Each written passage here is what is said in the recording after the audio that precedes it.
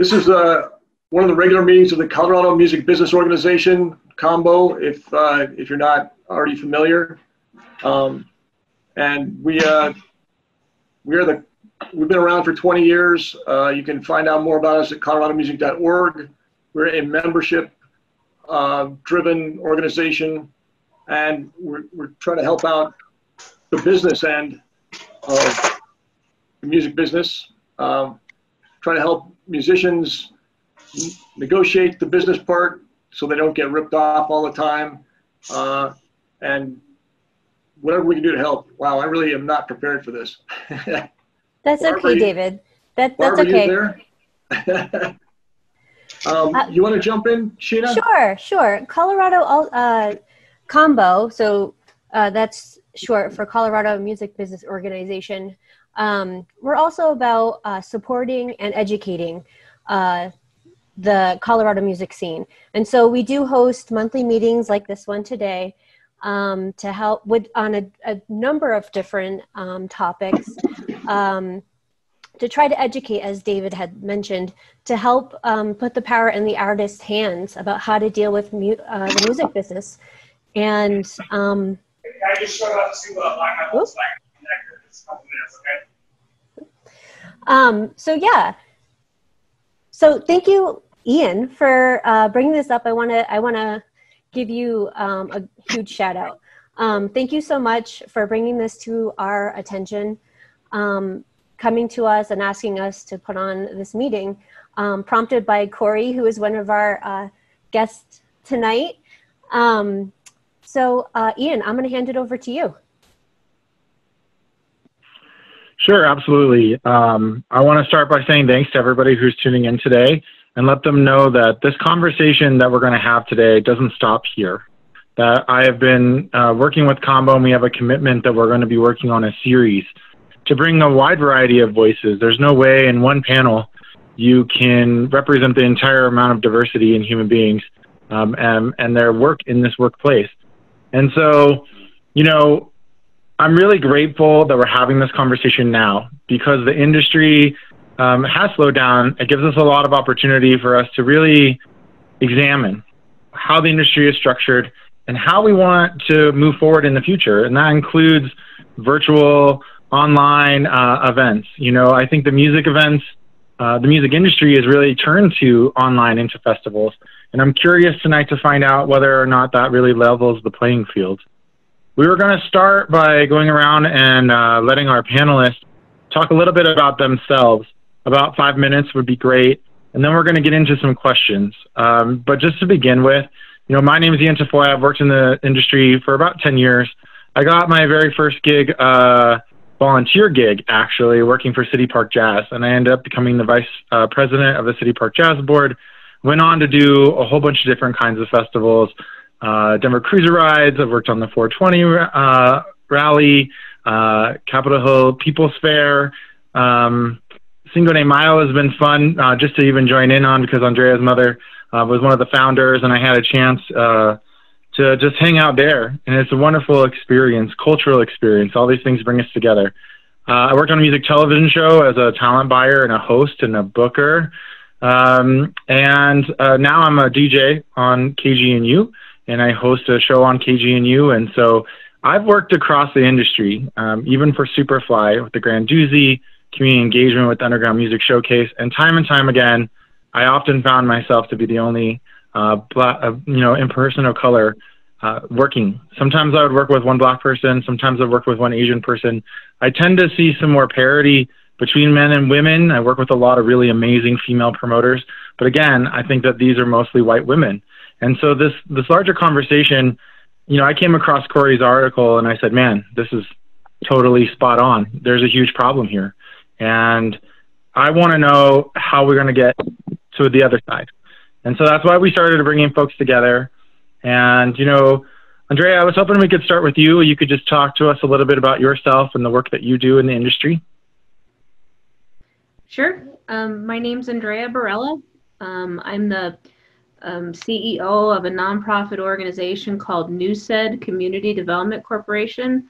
Um, as in kind of mentioned there, um, it's an organization that was started by my mom, Veronica Barela. Uh, Mom is one of the founders of the Denver Cinco de Mayo Festival. Um, and we carry on that tradition today. Um, unfortunately, we weren't able to have Cinco this year, so it was a huge loss for for the community and for for NewSed. But um, our organization, uh, you know, we put on that event um, as a fundraiser for NewSed, and so I've been a part of Cinco de Mayo since way back when it started on Santa Fe Drive as a small community festival.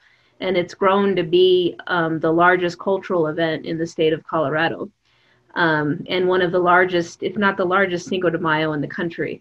So we, um, when you when you think about, you know, how do we, uh, with a big big scale event in three stages, how do we coordinate um, the music piece of Cinco, and that's typically done through our partnerships with radio stations.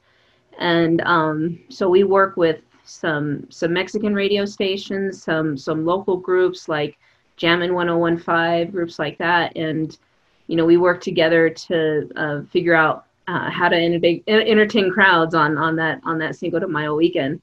Um, the event would have been um, we would have been having our 32nd annual this year. Sorry, our 33rd annual this year, and um, uh, never has our event been interrupted. So um, you know, it's it's kind of a loss with COVID this year, but um, you know, hopefully people celebrated Cinco in their own ways at home with a glass of margarita. um, but but yeah, that's that's a little bit about my background. Thanks for having me today. I appreciate uh, being asked to be a part of it. Today. Andrea, could you just speak for a second about your time on the Colorado Festival and Event Association and how how that operates? Because it's similar to to Combo here. Sure. Um, I used to serve um, on the board of um, the Colorado Festival and Events Association, CFEA. That's a member based organization made up of um, industry professionals, folks that service the event industry, the, the festival industry and specifically, and then folks who produce those events. Um, so, you know, I'm um, we work very closely with a lot of festival producers. Renee Ortiz's group and Eventful Production being one of them um, and then just a whole slew of contractors that we have come to know as family um, over the years who who've worked with very who've worked with us very closely. But CFEA is a great member organization. They've been around 20 plus years now, and um, they hold an annual conference. Typically, takes place in some location in Colorado, but basically, it's you know two days, sometimes three days of um, intensive workshops on various event related um, topics and um, you know i've i've been able to teach sessions um, uh, about um, community inclusion and um, other such topics with marijuana is always a topic of course and so um, it's a great it's a great organization uh, they have about 200 members i really encourage anybody that is wanting to expand their knowledge and their and their um, connectivity to the festival and event community to join CFEA um, and um, get to know them. Awesome. Thank you so much. Johnnie Johnson, I'd like to go to you next. Okay. Uh, can you hear me? Sure can. Okay. So, um, yeah, I'm, I'm with um, Intervision, and I work with disabled uh, uh, musical artists to teach the, the business of music. And how I started was uh, in 90s, well, I started in, in 1990 just doing uh, public access TV shows. Then in 97, I, I switched it over to like music acts. Mm, yeah, the music acts. And I started booking music bands on the show. And then we switched over to Channel 12, which that surprised the public access guys because they thought I was going to only do it, you know, at their the little station there. But I wanted to really open this up. And then uh, I noticed a lot of these bands they would they would say like, you know, hey, can you get us? Can you book us in venues? And I, and I, and I would always ask them like, you know, do you have a fan base? Because I know these places, you know, they just don't want to have a band rehearsing there. They want to have people buying drinks and all that other stuff. So I would do a a, a mixed show of, of artists like from hip hop to rock to um, what whatever else, and you know charge five dollars a door, and then bring in a camera guy and film it, and then I would use that footage for my TV shows. Um, and then I guess when I wanted to to go out further, like north and stuff like that, then I, I found that some other guys, well, one guy he had blocked off all these in uh, Central City and stuff like that. So he he you have to go through him to get his bands, get any bands there to, to make the higher money. So I, I went back downtown and I found if I wanted to get paid and I wanted to get the band paid, uh, playing downtown venues was was the best way to go.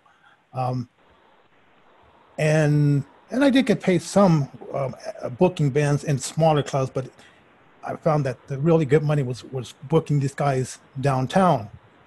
So I got a, a main crew of like maybe like three bands that I knew that they had a draw.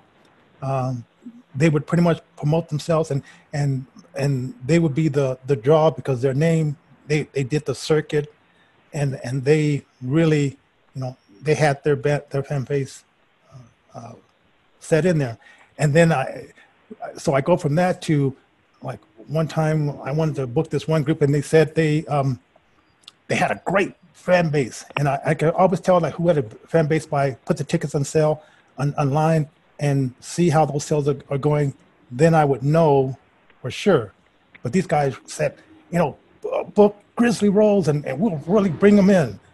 And I said, let's fill a place of 50 people. And then the next show, I'll take you to Grizzly Rose. Well, I, I booked that show uh, for this place that hold 50 people, and they brought in three fans. And I said, man, I would really be embarrassed if I would have got this 500 venue with three people. So I, I learned a lot of this stuff by trial and error. Um, I can't tell you if there was any other blind people doing this because I couldn't see anybody. So I, as far as I know, I was the only blind guy in the venues that I picked out, and I came across very um, um, inclusive people, uh, like the, the, lady that uh, does the, the, Mercury Cafe, uh, other people that did had venues out in Aurora, um, uh, Lakewood, and and especially like downtown when I would look at the, the bottoms up um, place in, in the Supreme Court. And well, it's no longer the Supreme Court, it's the, the Sheraton now. So it, it, it, was, it's been, it was a learning experience and made a lot of mistakes, but, but it was enjoyable to do, to be in that end of, of these guys, great positions. They needed a venue. They, they knew how to do this music stuff, but they just needed someone to, to get their foot in the door and then, you know, sometimes handle the money stuff and uh, handle like arranging the, the pay. But, but pretty much they knew how to do that as well. So it was like a, a partnership that I really enjoyed and, and uh, it was fun. So, so, so Intervision, that's, that's what we do. And, and uh, right now we, we had, we had a, a concert booked for April where um, it was going to be at Mercury Cafe, 300 people the 18th of, of April. And of course, that went out, so I rescheduled it. And hopefully, you know, in October, we'll be over, or maybe we'll we'll see what happens. So that's it. Hey, thank you. I do want to note that the program had Ryan Fu on it, and unfortunately, he had to cancel just a couple hours ago. He's working, uh, he's an independent event producer himself and works with the Black Actors Guild and they're putting on something called Colfax Canvas on uh, August 1st. For anyone wants to go check it out, they're painting a whole bunch of murals up and down Colfax, and so he said he had to go get his hands in the paint. So he's hopefully going to come back in August, and we can have him on here. Uh, Andy, I'd love to go to you next. Andy Rok Guerrero. Hello, everybody can hear me. How's it going? Um, Hey, I know a decent amount of you. I know Amy and uh, some former students, Kelsey here. I know Edwina from Youth on Record, uh, and Dave from the Herman's Hideaway days. As, as you may or may not tell, I've been into the Colorado music scene for plus 20 years. I started gigging when I was 15 years old, um, playing uh, um, over on 17th uh, it wasn't the Gypsy Cafe. It was something else. Like I'm so old, I can't even remember the name of venues that don't exist anymore. Uh, but um, uh, my name's Andy Guerrero. Um, um, I'm a Chicano uh, musician, producer, songwriter. Um, I founded um, the band Flobots and Bop Skizzum, um, and recently uh, re-engaged with Flobots, so I'm, I'm doing that again. Um, and uh, I'm also a professor of music business at the University of Colorado at Denver. Um, and uh, you know, I've done it. I've played shows. I've managed some bands. I've uh, done just about everything, uh, you know, in the music business. Um, and um, yeah, I'm just, uh, and I've been around the scene a long time. I grew up in this scene, and it, you know, helped form me. Uh, you know, and Colorado's been really great um, to me as a Latino artist. Um, and not that there's a lot of things we have to work on, but um, I can definitely speak from experience of coming up and seeing where it is now, and being around college students and seeing some of the struggles that they have to deal with. Um, you know, and students that have other people of color and, and other things like that. So, um, so yeah, I'm just here as a resource um, to help answer any questions um, and, uh, you know, I can add to the conversation. Um, I was saying I saw the first time I ever saw you play that I can remember was uh, with Bop Skizzum for a Wakarusa. So you guys could try to go to Wakarusa. And you were you were stellar. Tenerdo played that day. Um, Sunsquabi played that day. You know, it's just some really great bands. That was a good time. Um, you know, Kori, I want to go to you next, and and and after you explain who you know you are to the rest of us, I think I'd, we want to begin with you, and we really want to go into you know what really prompted you to write this article, and uh, what were you seeing, you know, just in your time here um, that gave you know that got you to write this. What was it like to work with your editors to get it pushed through? Yeah, um, to give a little bit of a background, I have been working in the music industry for like seven years now. Uh, I got my start at the University of Arizona. I was working in one of the theaters down there at the Rialto. And then I moved back here. I grew up in Denver, but I moved back here after college. And yeah, quickly started with uh, 303 Magazine. And at the time, I was just a staff writer and kind of grew the position with them to being a talent buyer and a photographer and also like an event coordinator with them when we do put on events and whatnot. So it's kind of been like a, oh, and I've also like taken on artist management in recent years. And just like it's a full kind of 360 type of position now that didn't exist before, but that's kind of my backstory. Um, if you, I, I, can just jump into like kind of why, where the article came from. Um, so, having covered the music scene for specifically the Denver music scene for almost five years now, um, it was very just apparent in like the meetings I would go to, and with promoters, and I you get to learn a lot of the people in the industry and a lot of people around. You're in these rooms, you're talking to these people, you're writing stories on them, and it had come to, it come to my attention that it was just like so white dominated, even though there were other people of color around and in adjacent places.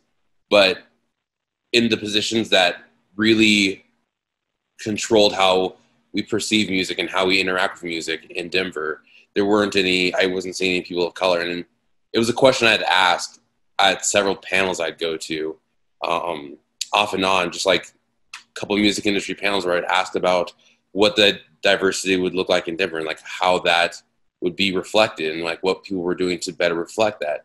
And it was always a question that was just falling on deaf, like deaf ears. It was always ignored. It was always this weird awkwardness in the air. It's like, this is a problem. And even my own experiences with it in terms of like how I've been perceived in these meetings and like opportunities I've been passed up for in the same breath to people that have either been not qualified but were still white. And i just like i it was something that i had never understood. And like me writing that article was basically me trying to open up that conversation. And it's something that we talked about so many times with other people in these higher positions of like okay this is a recognized thing so why are why aren't we talking about it? And so by putting out that article i feel like it really did help to open up that conversation at least i don't know if if they're going to take enough action on it, but I wanted that to put it out there. And in terms of writing it, it I definitely had my reservations of putting it out there because I didn't want it to be misconstrued. Um, with editors, we had we followed up with a lot of people. We reached out to a lot of these um, organizations that do have a huge stake in Denver and creating our music scene. And we would just talk to them, and we wanted to see like what their statements were on it. I've wanted to write this article for four years, but it I think it took this time when people are actually paying attention and wanting to look at racial diversity and look at that disparity seriously that it the timing also worked out. So that's kind of where that came from and that's like yeah, it wasn't easy to write. It was like I had qualms I not qualms but I had apprehension about having to name names and name organizations. Not to be vindictive towards them, but be like, if I don't name it, if I don't call it out, if I don't mention you in this, then you're not gonna you're gonna act like it's just not a problem. And I wanted the actual problem to be at the forefront. And so naming names was something that like I was concerned about in the beginning, but like it ended up being better because even people from those organizations later on reached out and be like, how can we some did, some didn't at all. But some took it upon themselves to be like, hey, how can we do better?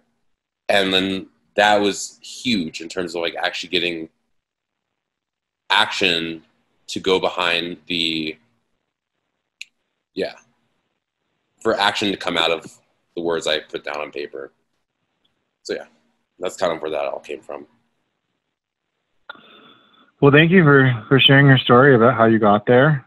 And um, Andrea, I'm wondering if we can go back to you and you could talk to us a little bit about your experience. You know, you, you run one of the largest cultural festivals in the country, really.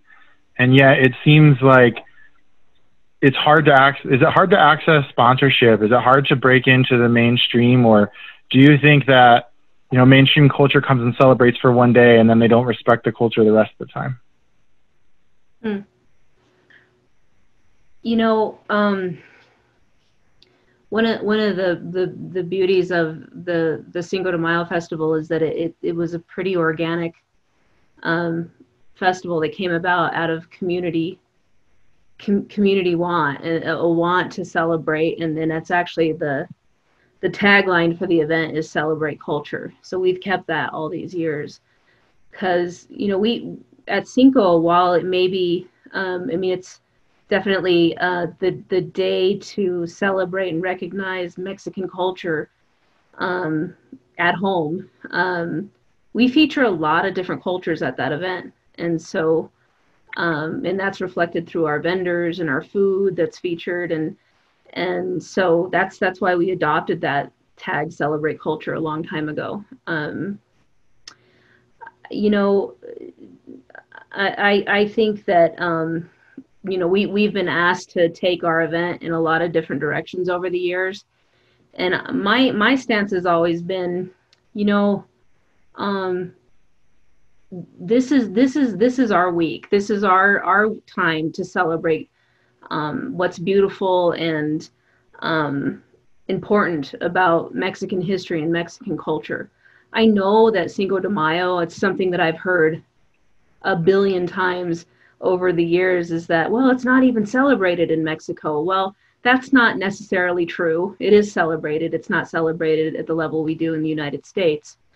Um, but it is it is a it is it is is it, it's a significant event event for our for our community. We have a very big mix of Chicano and and Mexicanos communities in Colorado, and so um, we we I I don't apologize for the fact that we get to celebrate um, what what is unique and beautiful about Mexican cultural and history uh, on Cinco de Mayo.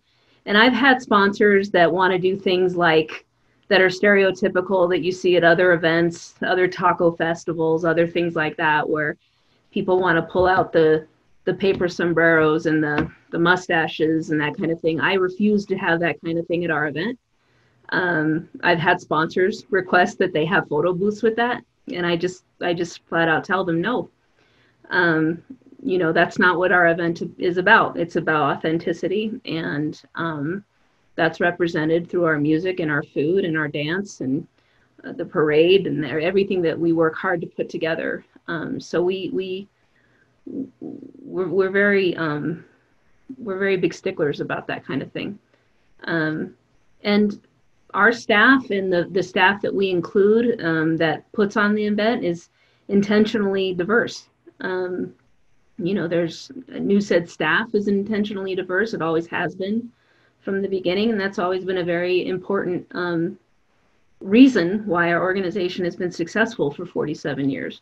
And so once we start valuing um, diversity and once we start making it as the primary goal, that's when that's when all of our various industries will grow and get better uh, because culture and diversity make things better. Um, so once people start understanding that and going there first, as opposed to hiring the next best white person for those positions, um, you know, uh, these industries will grow. So that's how I feel about it. I don't know if I answered the question, but, but um, no, I think you know, I it actually gave me some other questions here that I'm going to come back to uh, in a little bit. You know, this one, this next one's for you, Andy, and I can't help but continue to think that if the industry is dominated at the top and people are paying large amounts of money to go to university, how do you have these conversations with youth about this investment of time they're making into business, and yet there appears to be a glass ceiling or roadblocks in the way? And you know, and how do you mentor them? And you know, has this article really spurred a different conversation for you and your students? Um, well, first of all, I, Kori, I just want to say, man, thanks for writing that article. You know, there's I growing up in this scene and um, all the things you talked about. Definitely, I, I feel you, and um, I, it's a hard thing to write in Denver because you know we're a live music city, right? And there's a few people that run everything, right? It's AEG, it's Live Nation. You know, I know you mentioned Francois. It's like Francois is the only person of color that I worked with coming up, you know, and that that's about it. Um, you know, that being said, with students, you know, me being, you know, a person of color, um, I, um, I find I have a really good relationship with with other students who are people of color, um, and I'm able to relate with them and talk about things. And basically, number one thing is myself being a resource to them. Right? I've done this. I've done certain things. I know how to handle things. I know who the players are. I can be, you know, I can give them some advice. And we're talking about, you know, color diversity in in Colorado. You know, I'm you know, we can get really deep into this. Like, I'm from the north side of Denver, right? Now heavily gentrified. When I grew up there, it was the hood. Like, people got shot and stuff. And, uh, you know, I, um, in high school, busing was still allowed. Like, mandatory busing was still a thing, right? So I'm a poor kid from the north side, right? And uh, I would have probably gone to North High School. I didn't want to go to North High School because my mom taught there, and I didn't want to go to high school where my mom taught. Um, and I was, but because busing was mandatory, I was allowed to go to George Washington High School. Okay.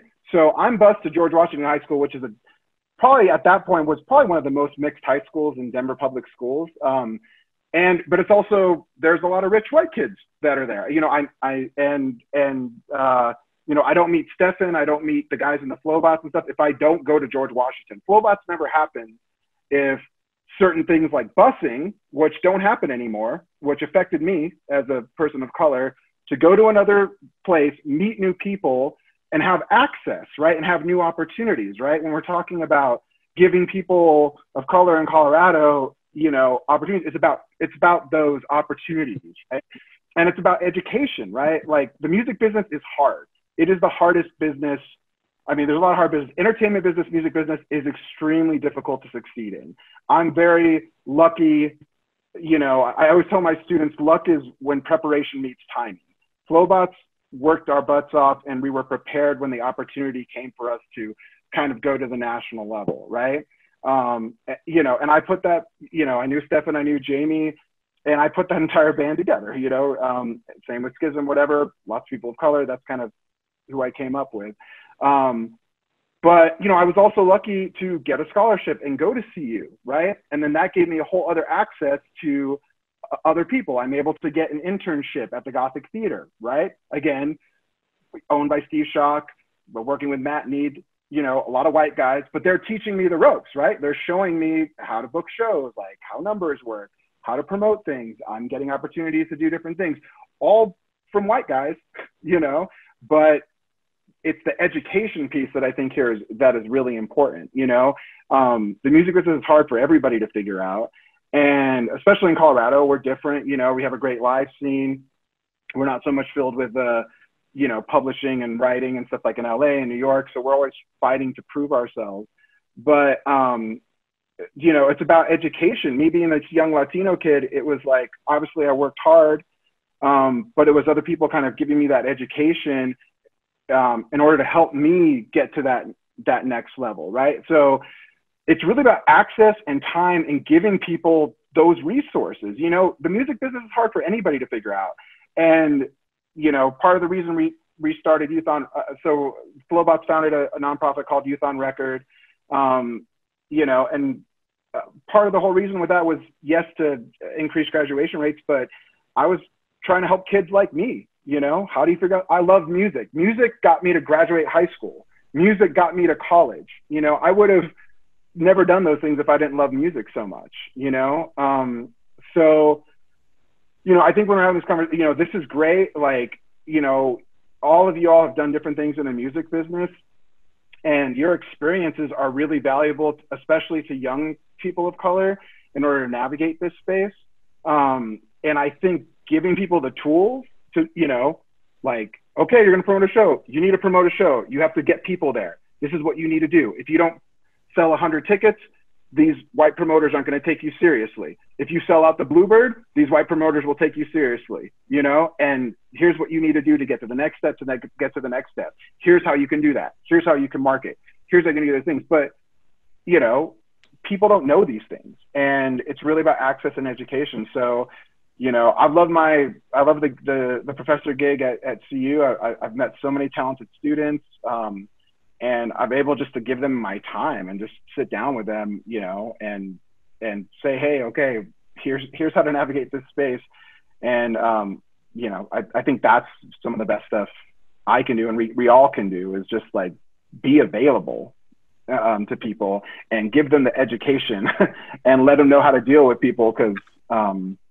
that's that's how bands succeed, you know. Um, so I don't know. That's kind of my quick thoughts. It's a super complicated topic, but um, can I ask you I'm a question? Speaking from a, a, Latino kid from from Northside, you know, that's my experience.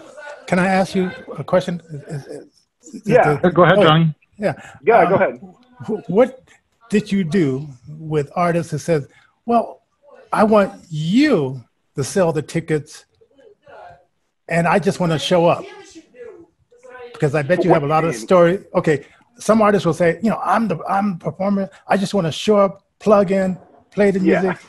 and I want you to, to, to promote me and sell the tickets when you're when you're dealing with these guys that are just coming up. Yeah. What what did he say? To, what have you said to guys like that? Because I know you must have come across them. Oh yeah, I, have come across them all the time. It, it really depends on a lot of things. Like, you know, when we're talking about elevating people of color, you know, um, in general, but like especially you know, giving them opportunities. Like if I see extremely talented bands that I know, like maybe they're having a little bit of hard time promoting, but if I put them in front of a crowd, you know, they will win that crowd over, and they're going to get a bunch of fans. And then the next time they play, you know, you know, Flobots did that to the best of our ability. I mean, I, I think uh, I think I saw John Shockness log, log on here.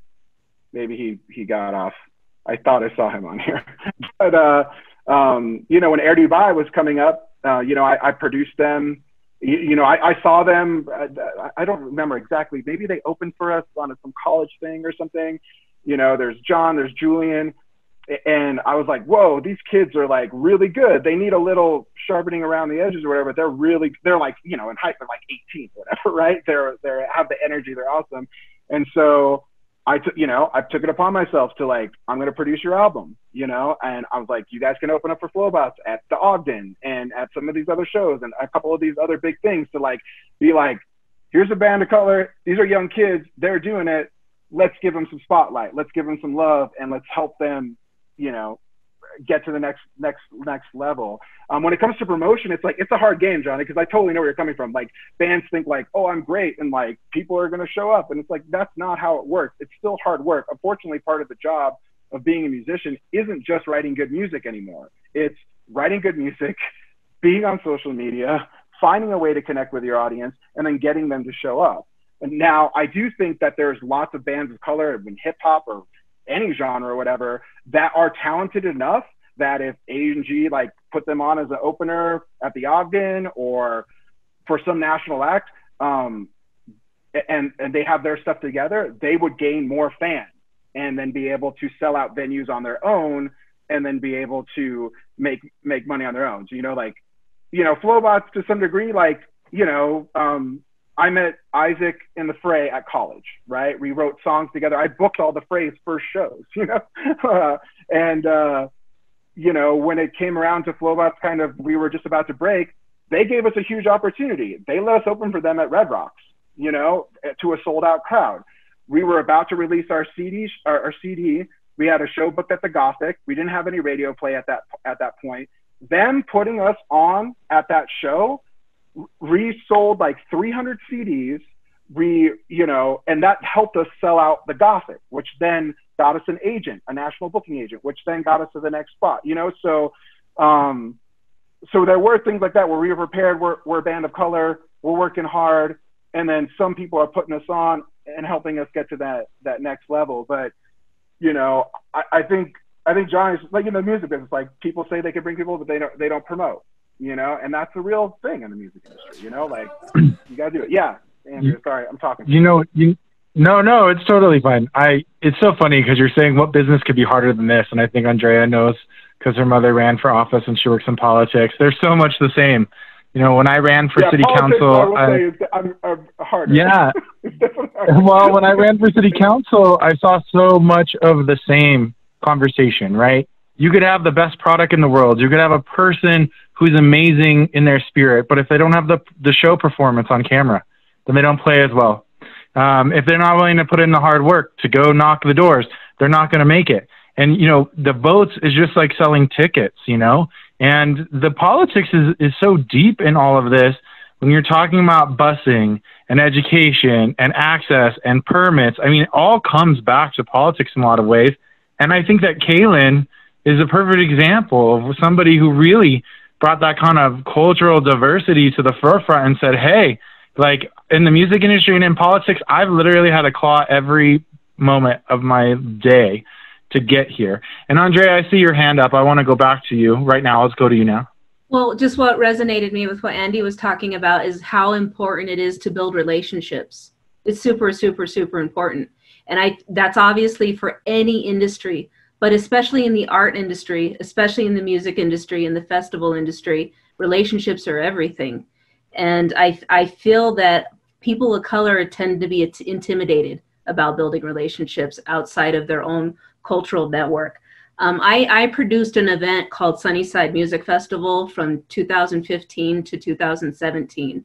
They needed an executive director. I did it as a side gig to what I was already doing, and um, and this was before I became director at Newsed. But I really, um, I, as a person of color, injected myself into an all white organization. And that was um, really stepping outside of my comfort zone. But it, I knew that I would learn things that would be applicable to Cinco de Mayo and, and everything else that I do. I would be able to form relationships and I would be intentional about it. And I would teach them because to be honest, they, they, they, they, they needed help. They needed help making that that event more professional and raising the bar on it. And I, as a person of color, was able to bring that to that organization. And I'm very proud of the work that I was able to do there. And you, and I don't feel like I answered your question fully because you had asked about sponsorships. Um, sponsorships in in the in the festival industry, we, we're we're lucky because we have three decades, right, of or of doing this event. And we have the luxury of thousands and thousands of people that come um, to the event to celebrate. And we have the added luxury of having um, the attention of a demographic of people. We get 70% latino attendance at cinco de mayo. So that in and of itself is attractive to certain sponsors. Some sponsors it's not but we don't want those. We want the ones that want to appeal to our demographic and um, you know it's it's basically business from there it's relationship building, of course. I've had sponsors we've worked with for literally 25 years. We still have sponsors that we've had from the very beginning with Cinco.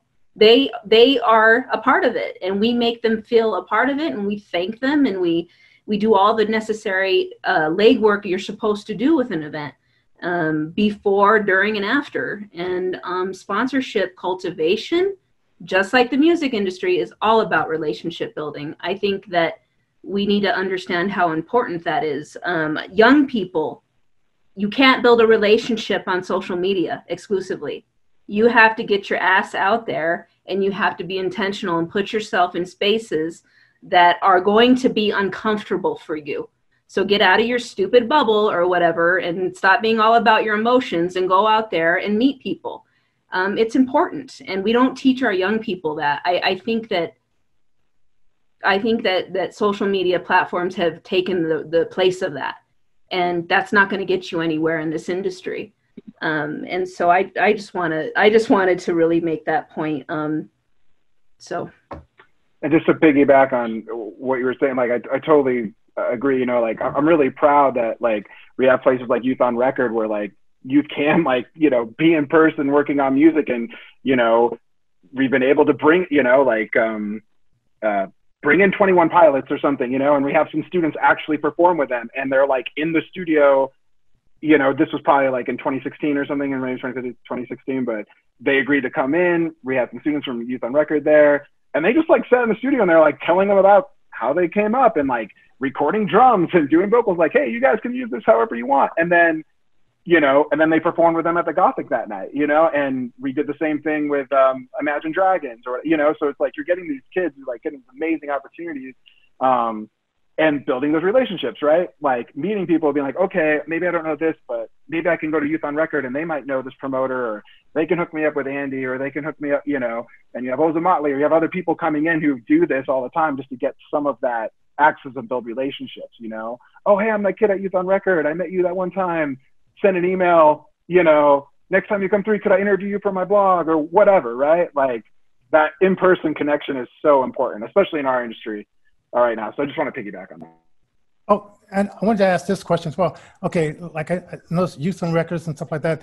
Um, starting the young people out, is there ways that you've been able to go into high school because and, and have them work in front of an audience? Because I, I noticed when I was studying as a DJ, learning how to work an audience that is very important to the show. So who have you like um, the lady that does? Oh, Johnnie, you are. I love you so much. This is like this is partially what I teach at the university when I I, I direct. So I created the first ever hip hop ensemble at CU because uh, hip hop's like a pop media. You know, it's like it's the music right now, and we didn't have an ensemble doing it. So I created um, a first ever kind of hip hop ensemble, and um, you know, I have a pop rock ensemble as well, and I basically put these college kids together every semester. It's like potentially a new group of students, never played together before, and uh, that's what I teach them is how to perform. And I book a show at like Lost Lake or Larimer Lounge or something like that, so that they get the real experience of playing in a sweaty club at night, you know, with monitors not working and whatever else that may be. And we'll learn a series of covers. and uh, you know, that's what I, um, I work on them with is like, how do you engage an audience, how to perform, how to make connections. And one thing I'm trying to work with on Youth on Record is, um, again, it's about access, right? So through my things, I've been able to work with people in Nashville who like, there's people who do this as a living. They like work on Taylor Swift's tour and they like figure out all the songs and like when you're going to do what, when, and how you're going to do this and how you're going to interact with the audience, right? And really for people in Colorado and any musician, you're going to make the majority of your money playing live. Like 70% of your income is probably going to be live, then it's going to be from streaming and publishing and anything else you get. So having a solid live performance is really how you survive. I mean, Beyonce and Jay Z, yes, millionaires, right? But like they make $250 million from their tour, not from their records. Like their records and publishing is maybe 20 or 30 million, which is still a lot. But if you think in comparison to their last tour, that was like 250 million, 300 million dollars, right? So, um, so I'm trying to do a workshop. That, um, there's some folks that I work with, um, and I use this as a reference for my students. Uh, it's like this guy Tom Jackson. It's on stage success. music.com, I think. You guys can go check it out. I'll put a link or something.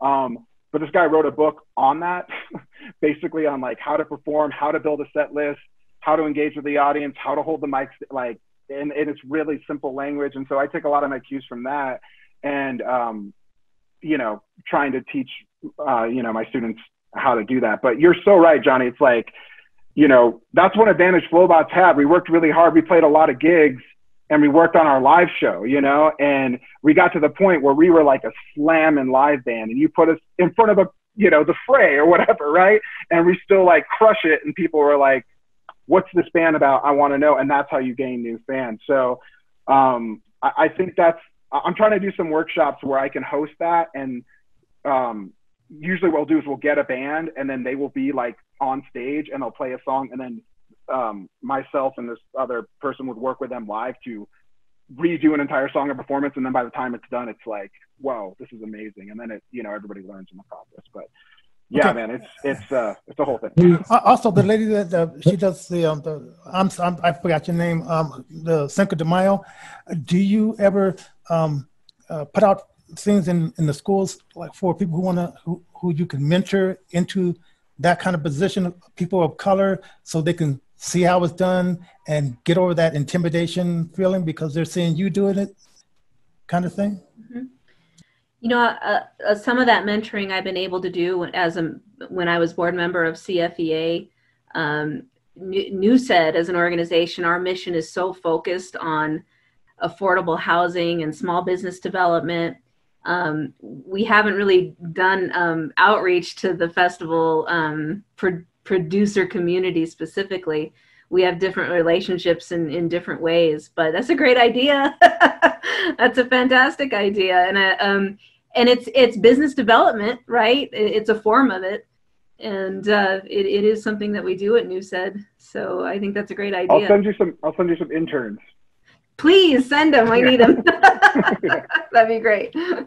specifically people of latinos I- or people of I mean- color I've been I've been asked to guest speak at at um uh uh is it a oh Red Rocks Community College because they have an event uh, planning department um the the city of Parker has asked me to speak and I've been asked to speak at some things and and I've, I'm always available to um, I've I've done a, a ton of interviews with students that have asked me how how we've come to to be you know a large event like we are. And um, I'm I'm I always I'll drop everything and and and speak to a student any day. And um, I I understand how important that is because people just want to learn. Um, and you know there's there's so many people at different stages in in in in their um, professional development that want to get into this area that um, you know it's I, I got to tell you just like the music industry event production is hard. It's hard goddamn work. And you're putting in you know over a hundred hours a week sometimes. And because at the end of the day if that event doesn't go well that's that's your reputation. And you know you gotta you gotta do everything you can to plan plan plan. Because what's the old saying? If you fail to plan you plan to fail and and i'll be damned i'll be damned if we put on an event and we haven't worked really hard at it and made sure it was fun for everybody and accessible for everybody How, how many times? How many times have you had that go the wrong way? I feel like there's times when I've planned, planned, planned, and no one shows up, and then there's something that you're like, oh, I'm not going to put that much effort, and then you're at capacity or something. Um, I, you know, you're talking about interns, and I want to switch. I, I had heard uh, Johnnie, and I want to go to you here too, Kori, after him. You know, Johnnie, you were telling us about how you got started, and I'm going to ask Kori, you know, to tell us about your first gig. But, you know, Johnnie, where, what was the job, or where, where were you at in your career when you thought, man, maybe I can actually make a go in this? Because I know personally, it took me several years of like some good gigs, some bad gigs before I finally felt like I was in an established place and like, yeah, this was going to be a regular source of income for me. Well, it was kind of weird. Um, I have a friend who who's also blind who also started up this the nonprofit with me, and I sort of like we were in in L.A. and I was seeing how they were doing it in L.A. and they're a little bit more.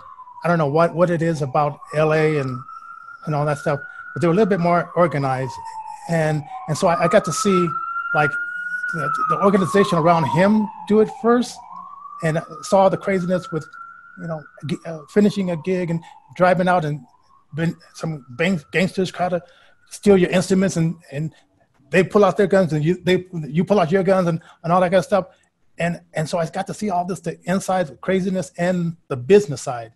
Then when I came back to Denver, um, my the one that I said I can do this was it was at a, a little Creole restaurant in, in um, 2004, where it was a hip hop concert, and I was doing the sound, and I had booked a lot of the acts, but but it was like packed, and it was hostile, and it was hip hop, uh, testosterone kind of thing, and I said, yeah, this could really work. So it, I mean, it was 2004 Creole restaurant place was packed.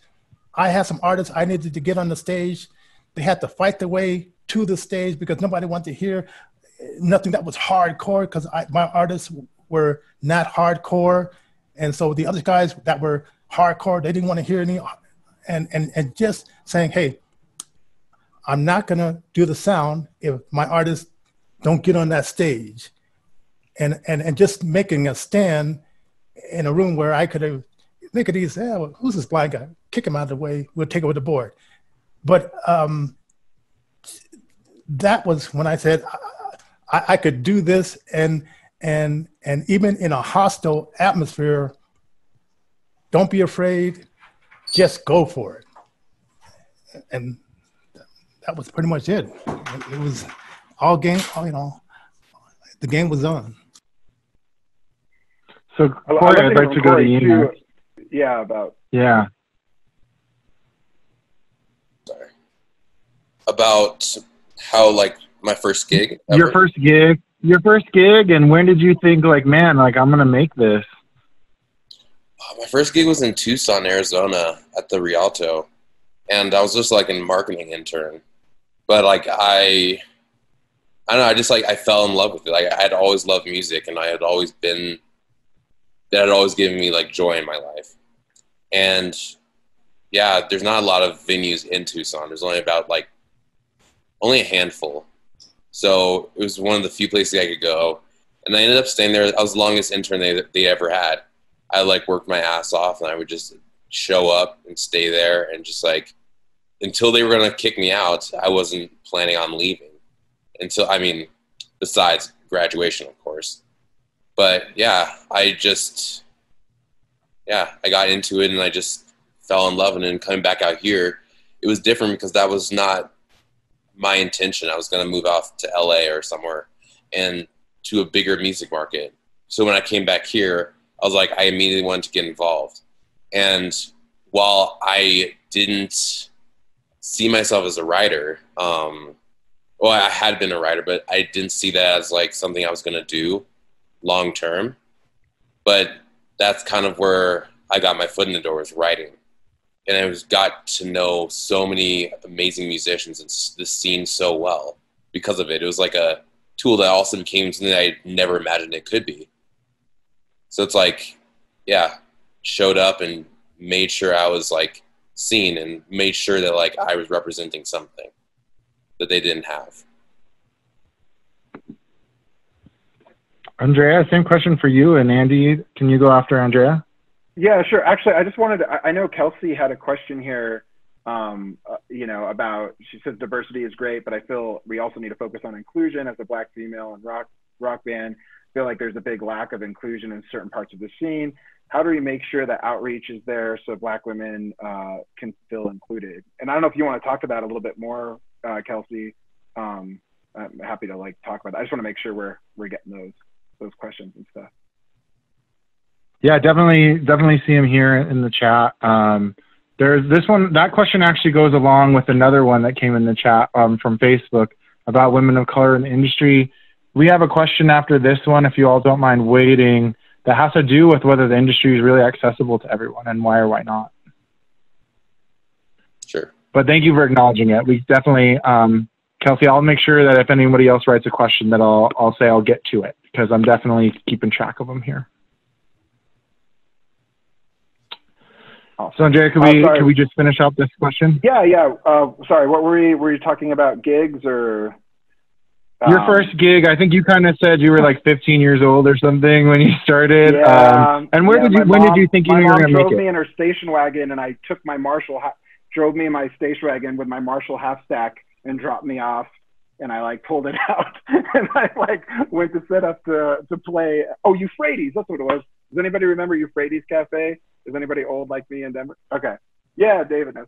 Um, um, uh, that was like in high school one of the few places where you know you could play.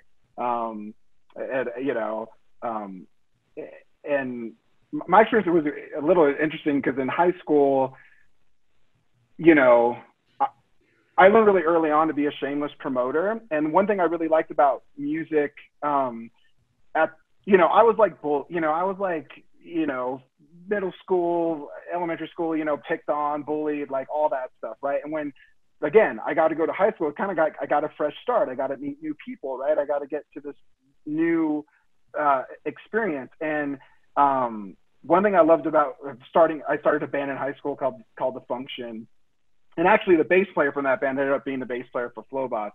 Um, but uh, I, try to use that as inclusion because I would invite everybody to the shows, right? So it's like the cheerleaders would come, and the jocks would come, and the drama kids would come, and the nerds would, you know, like like my whole thing with playing shows and music was like invite everybody. I wanted everybody to feel like they could come to our shows and hang out and be a part of it. And there's like this one thing that brought everybody together, all the crews, all the cliques, you know, um, that's what music's about, right? Like we're, you know, we're all from different backgrounds, political beliefs, whatever, but we all can love the same song, right? And that's what's so magical and powerful about music and why it's such a powerful force.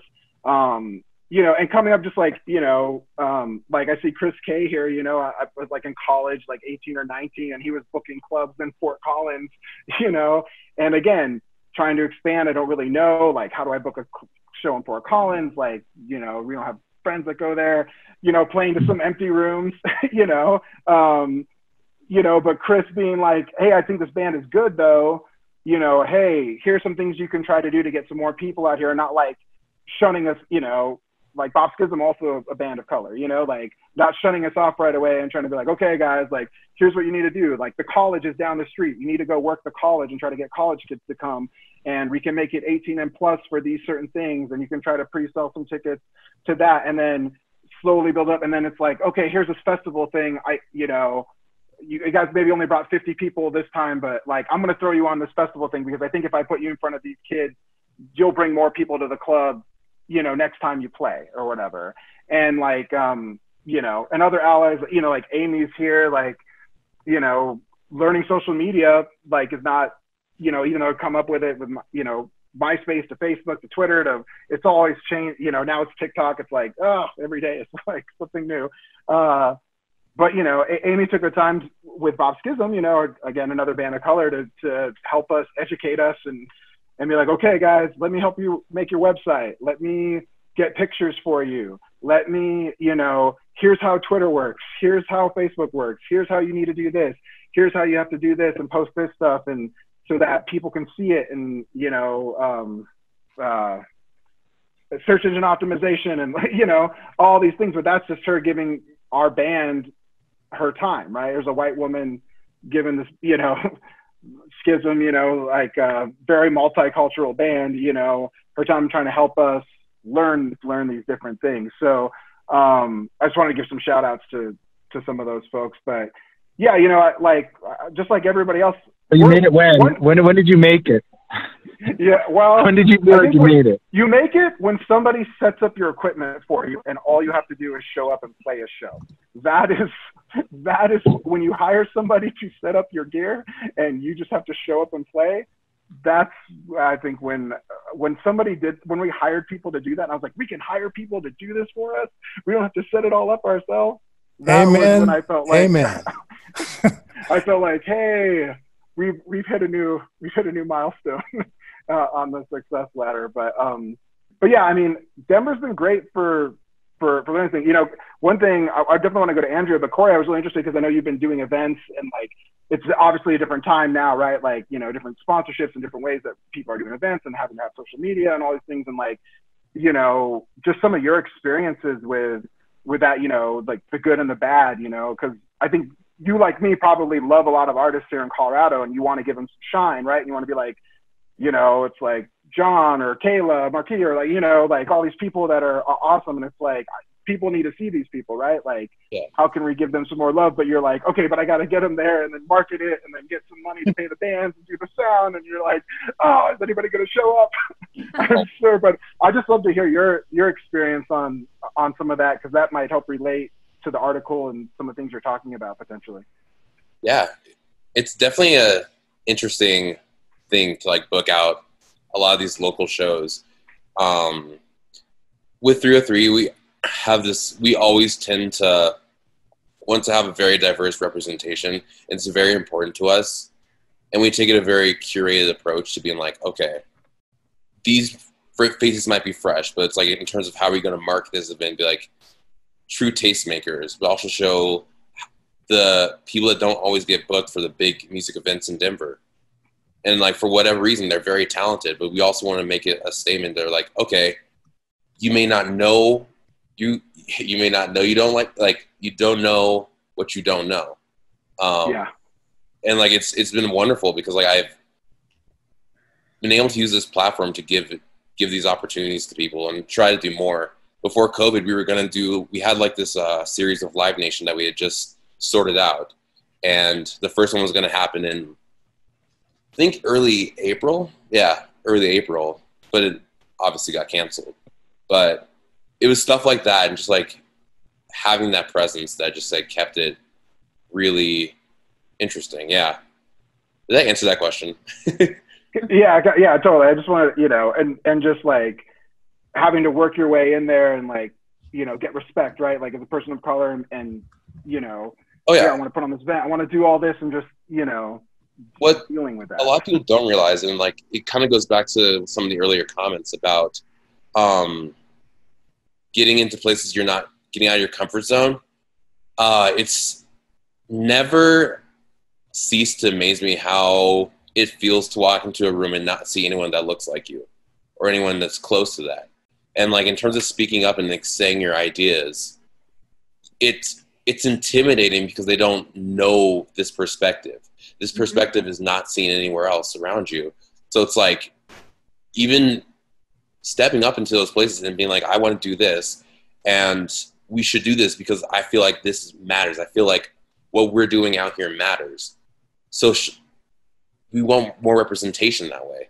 And like i if i if I can get into those rooms and do that and bring it out, and like I, I love it. Like it's, but it's, it's challenging. It's very challenging, and also the whole aspect of selling tickets and making sure people come out for these things. It's a lot of how you like market these situations. Like um, we had this huge cover jam situation, and we I wanted to have Los Mocochetes uh, be the basically a house band for the night. Um, I wanted because I love what they bring to the scene. and I want the, I wanted their I wanted They're their awesome. yeah they're, They're great. best. They're great. Yeah.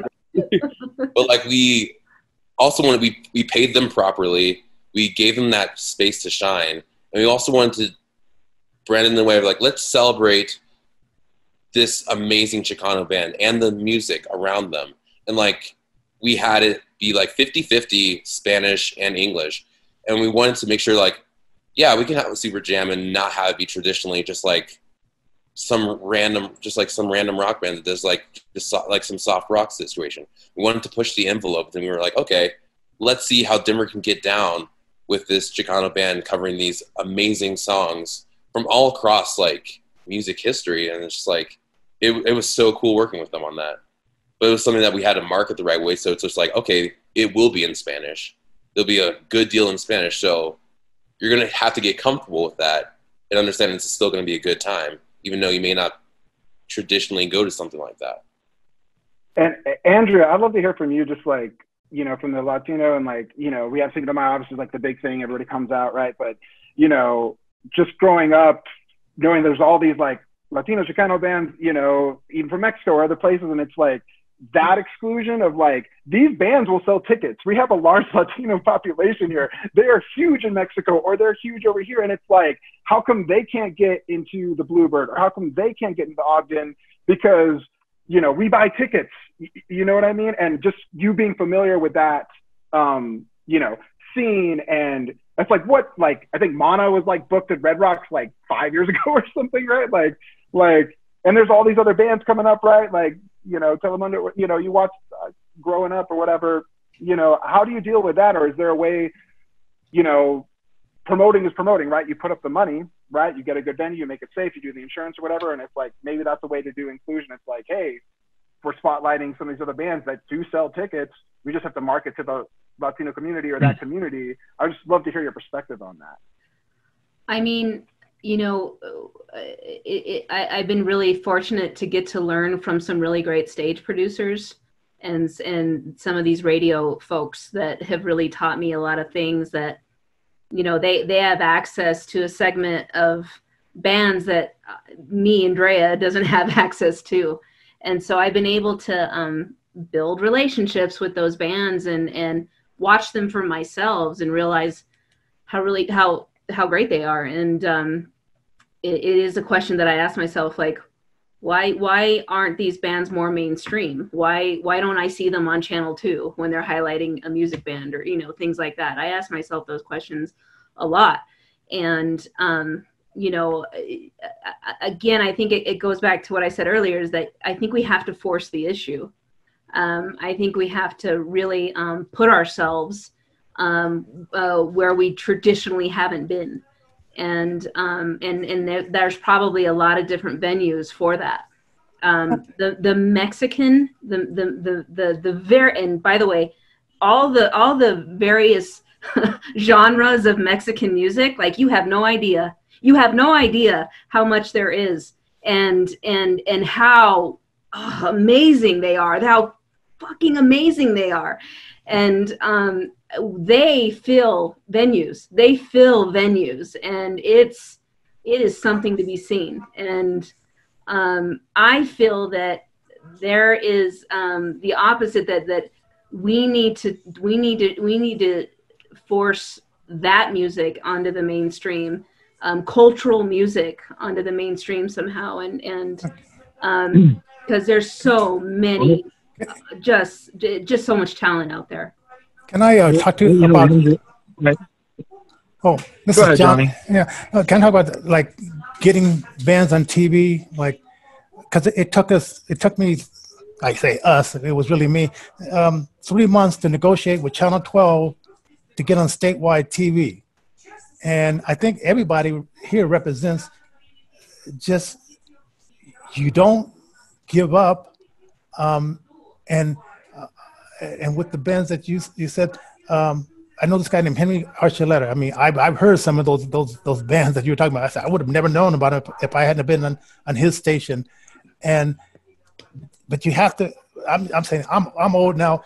Young people, you're gonna have to come come across to, to go to the station. Keep going, keep going. Because I I kept going to the channel 12 until I got the show on. And then even after we got you know hate mail and all that kind of stuff, you persist because you know that it's good to have diversity on television. It's good to have diversity in clubs, exactly and and it's in, important for people to see that statewide as well as like within a club as well. Mhm. I, I just want to come in here because we talk about, I so I booked on television for several years. I play on the radio. You know, I think this comes back to, again, the people who are in the positions, right? If you know about these bands because it's part of your culture. And I even, you know, after all this has really begun, after I read your article, Kori, I even saw some implicit bias and I went and looked at my own play selection. And I was like, I need to put more Asian bands into my work. And I started calling up folks saying, where is this? Because I grew up in Chicano culture. Uh, black culture and Chicano culture are so intimately intertwined that, you know, playing black artists, you know, 102.3, we know that the many of these radio stations, I, I get these reports from the radio stations that the top 10 are, the top 10 bands, um, you know, are all alt rock, kind of indie rock folk music. Maybe if you're lucky, you see one electronic artist. And that comes down to what DJs choose to play and what I choose to play, what other people choose to play, and how we book. And I, that, you know, you kind of hit on that question when you were asking it earlier, um, Andy, because my question to Andrea was going to be like, you know, you're, when you create space, when you're in charge for people of color, to create space for them to move up. But here's the thing if we want to start putting these people into Red Rocks, if we want to start putting these people into the Fillmore, we might have to ask some of our white band friends to give up a day. Like the Lumineers might have to give up a day. And what does that mean to their money? What does that mean to their tour? Right? I mean, these conversations are going to happen and the bands are going to have to work it out. But who's in charge and who's doing the booking and who's doing the math is going to have to be either really keen on this diversity conversation or it needs to be a person who comes from a diverse background, in my personal opinion. And I, I think that this is where we maybe can transition to these questions. I've seen a couple of them now. You know, where are women of color in this? Are are these industries really accessible to us? Um, you know, I, I, I, you know, I don't know, Andrea, if it's, it seems faux pas to go to you first because you're on this panel, but you know, how how do what can we do to support that? Because you know, like I said, I work with a lot of women in production, a lot of really amazing women in production, but not very many women of color in production at high levels. Hmm. I know that if more women were doing this work, it would be it'd be better for everybody. We'd be so much more organized. Here, here. it wouldn't be half the shit show it is right now. But and and I, you know you could say that for women across you know all sectors. But um, you know I I think that um, I I I think that again, it, it, goes back to what I was saying earlier is that it, it's intimidating. This work is intimidating, especially for women, especially when you go into a boardroom and it's all males. And, and then on top of that, you're a woman of color. And so you're, you begin to feel that um, you, insecure about your voice and you begin to feel insecure about if, if you bring value to the, to the conversation. And, um, we have to change that mentality about ourselves um, because um, do you guys remember do you guys remember that um, those real estate agents that did that um, fresh prince Oh, of bel air Oh, thing oh, you remember that oh, Yeah, yeah. yeah. Okay. Okay, Yeah. and I told my Oh. husband, I said, I said, I said, you guys, I said, babe, look at that, look at that team of people. Had they had one person of color, one person of color on their staff, that they that would not have happened. They would not have lost the Coldwell or Coldwell, who I don't, whoever the hell they were with. They lost their whole, they lost their whole business because of that stupid ass video that they put out. And it's and it's that's my point is that you know if if you if if people of color are injected into these spaces we I, don't know I, we have to push that we have to push the inclusion we have to think that we have to we have to change the paradigm that um, that it, oh it's so hard to find the person of color the right person of color for our team. It's so hard. I think people have this mentality that they can't it's not achievable. And that's just an excuse in my opinion. I, I think that you have to people uh, all across all industries have to come at it like we think we think we have to think we have to go there first before we go anywhere else um, because again uh, uh, uh, diversity in gender diversity in in ethnicity. And by the way race isn't even a thing folks. It's not even a thing. It's ethnicity. Um, that's what's valuable. That's what's going to make our brand our who we are relevant. Um, we that's what has to change. Um, and you know I, I when i was on the sunnyside music festival board you know people were like well you know i know we're not very diverse but let's let's let's form a committee. I hate when organizations say let's form a committee and let's let's committee this. No no no. You got to adopt that as the culture of the company of the organization. If you don't all value it a committee's not going to solve your problem. And I, I hate how white folks go there first. Let's committee this. No it's it's got to be the first thing you think about. Um and so sorry i i talked frank and i've been drinking wine all night so Right, go I'm I did want to. I I did. I did want to answer just like to Kelsey specifically. Like, I think I understand because you know you're you're playing rock music and you're do. You know, Kelsey was one of my students and she's awesome. She's a great guitarist and she's super great. Um, you know, but yeah, it's like I know what you mean. It's like there's these rock scenes, right? And it's like there's certain bands that you know are playing and like how do you break into that? Um, and I think so. There's twofold two things I think about this here. First of all, if, if you are one of those bands or you know, for me, if I'm in Flobots, like, you know, I'm, you know, specifically might reach out to certain artists that I, I want to try to collaborate with, you know, like, um, like Kayla Marque is an example of like, you know, kind of hush hush, but we'll see. We're, we're working on a song with her. We'll see how it goes. But, you know, with Flobots to see like, hey, maybe we can get something going if we do that the right way at the right time with the right things. That might give some extra love to her and and elevate, you know, give some love to her. Um, so I'm always looking for artists like that to be like, how can I help or can we maybe collaborate? And and I think if more, you know, some of the indie rock bands or whatever, we're also kind of thinking like that, like, hey, here's this artist, like, you know, maybe I could write a song with them, or maybe I, you know, I could do something, or they could, you know, it doesn't always have to be like you have to open the show. Maybe you just come up and play guitar on a song, you know, like it can be really simple little things to be included into like a whole new uh, group of people. So little things like that, I, I think matter. But the other thing I would say, Kelsey, is is is also, and it is intimidating, but is also just reaching out and collaborating with people as much as possible. Because one thing I'm really trying to foster in my old age here in Colorado is, is and I'm doing kind of now with Flobots and it, kind of breaking the norm a little bit, is doing songwriting set. Like LA, Nashville, it's very common. You go, you write a song with somebody, you go the next day, you write a song with somebody else, and you do that. That's your job as a songwriter, and then that's and then one of those happens maybe as a hit, right? Um, but through those, that's how you build these relationships, right? Oh, I wrote this song with this guy. This one didn't really work, but or you come up, you, none of you have written hits, and then one person writes a hit, and now all of a sudden they're bringing their crew with them eh, eh, to like write songs with big big artists, right? So I think in in sense of building community, and especially in music, like the more you can reach out to collaborate with people, you know, like or, or even just share ideas, be like, hey, I'm working on this, or, or it's like, hey, could you know would you mix this? Or would you give me some notes on this you know um uh or have somebody guest vocal on some you know like and and you know there's going to be rejection there. People are going to say no like it's the you know whatever. That's part of the music business right? But if you're persistent you might find somebody that you do build a relationship with and then that in turn offers you that next network um you know for uh to do something. So i think for women of you know like that's just a suggestion or whatever. I think it's super super hard um, for that. And i think the more we can invite women of color to do things with us or collaborate or play or whatever that may be and build a relationship more than just like a facebook post or like a like on instagram or something you know?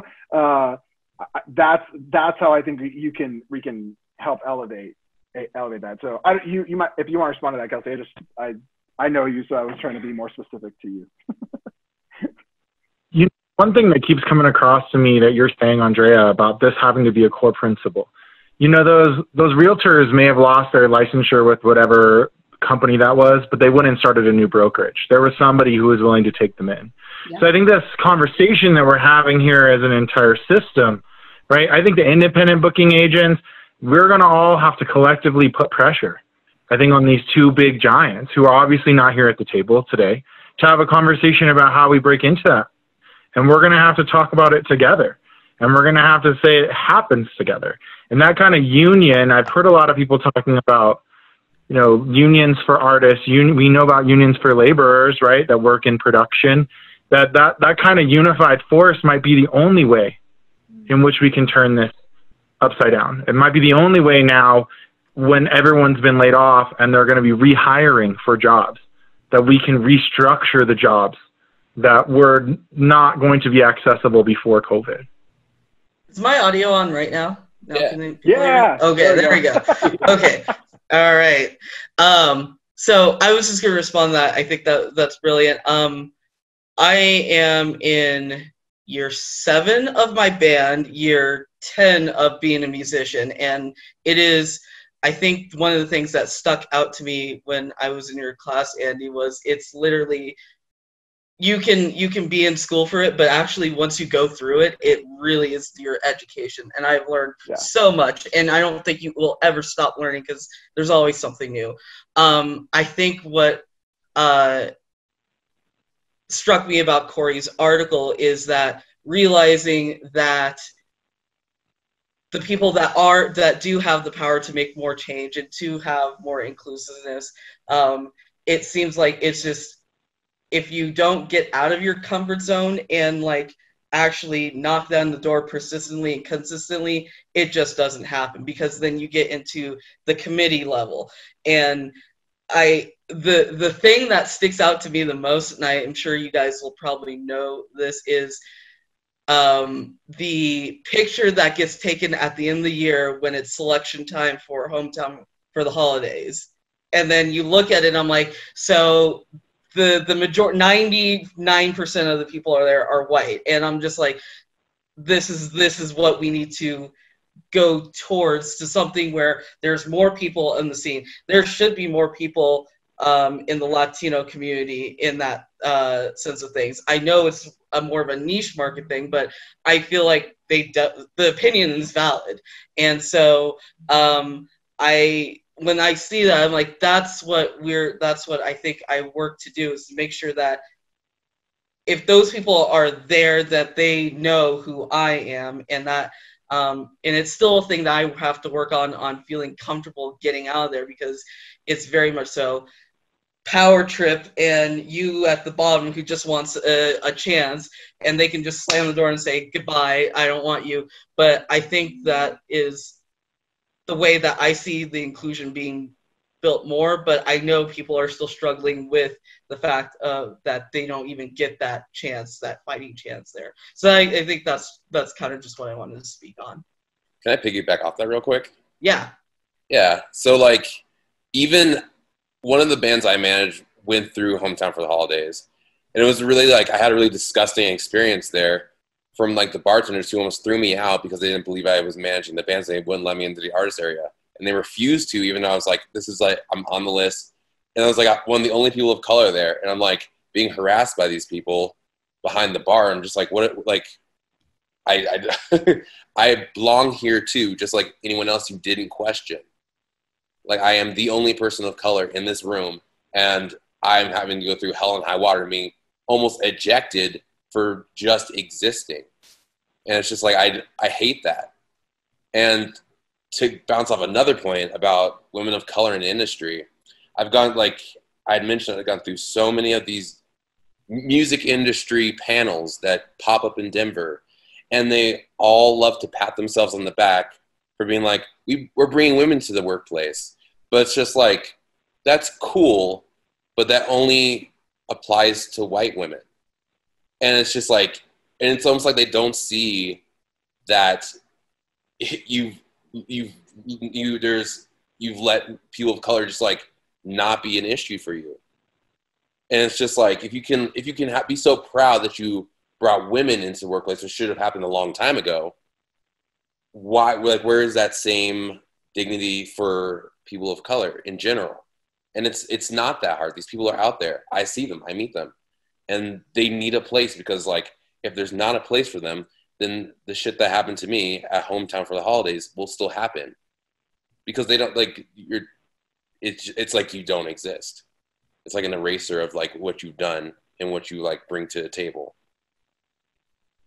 Johnnie do you think you could talk to us a little bit about you know people whom are differently abled and their place in this industry. You know, uh, I know what it's like to be the only, you know, Latino at a table, but, you know, I think there's a lot of times where there's other Latinos at the table. And I feel like in this industry, I've, I've worked with very few people. Um, I've worked with artists, but not folks in the industry. And I think for a long time, everyone said these jobs have to be, can't be done at home, that they're not accessible to people. But now look at this transition. We're seeing how much can be done at home so are we in, again, are we in a place where people who are differently able to need, uh, who need some accommodation might be able to find it and find a place in this industry? Well, a lot of clubs that I booked, they first met me on the phone and they had no idea until I walked in the door. Because I walked with my, my stick and I sometimes I'll go with a musician. A lot of times I would go to musicians because some of the places are not accessible by buses. So get in the car, go to, I say, I'm doing this for you. I need you to come with me so we can we can so I can at least get there and do a face and face to face kind of thing. Um, uh, and and then I've had situation, and since the hotel doesn't exist anymore, where a club owner says, "Well, I want to pay you, but we don't have the check ready. Come back next week." and dealing with people like like that and, and saying, "Are you doing that?"